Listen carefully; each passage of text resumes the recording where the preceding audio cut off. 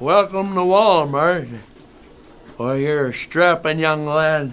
Give me a hug, a bear hug, you, you little. No, no, come here. No, don't shy away. Hugs are good for you. What? Why you think the dinosaurs died? Their little arms were too short. They couldn't give each other a hug. That's what it is. People don't care anymore about physical contact. In some states, it's illegal, especially if there's children involved. Anyway, I am the Walmart greeter, that's true, but I didn't used to do this. I used to be a machinist, yeah. I used to, one time we had this one job, for gosh sakes, it was so tough, nobody could figure it out. So I went over there, and of course I knew right then and there what to do.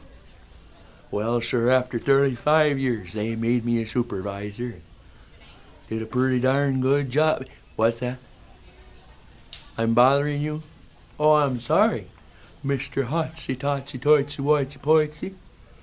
I suppose you live in one of them big old double wide trailers. The ones with the aluminum siding. You fancy bastard. Well, fine. You don't want to hug me, you don't want to talk to me. That's the problem with people today. They ain't got time for an old person anymore. Son of a bitch.